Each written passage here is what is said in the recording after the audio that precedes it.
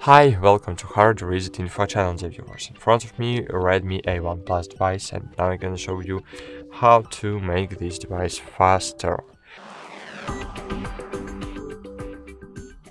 So your device is starting to slow down because three aspects you have free uh, you have fill up your storage over 70% second aspect you have no uh, a lot of space on your RAM on your temporary storage and this is third aspect.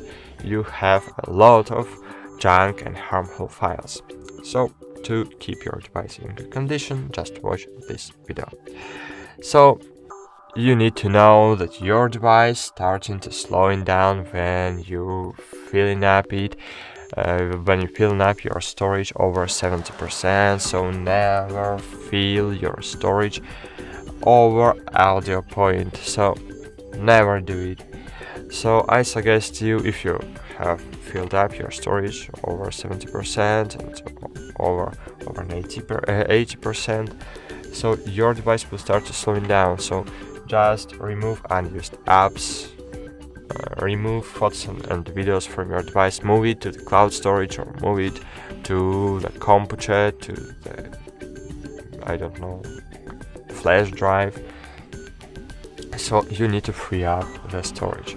Then second aspect is the lack of RAM. I have only 3 gigabytes of, of, of RAM in my device.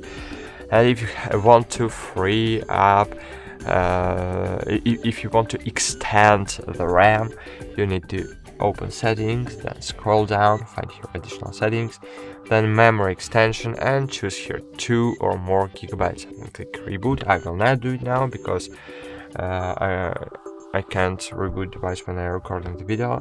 So reboot your device and this way you will speed up your device. Okay? Okay.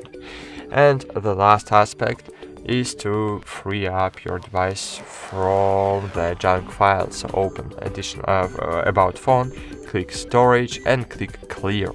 And in this way you will free up unnecessary, uh, unnecessary files from your storage and from your memory.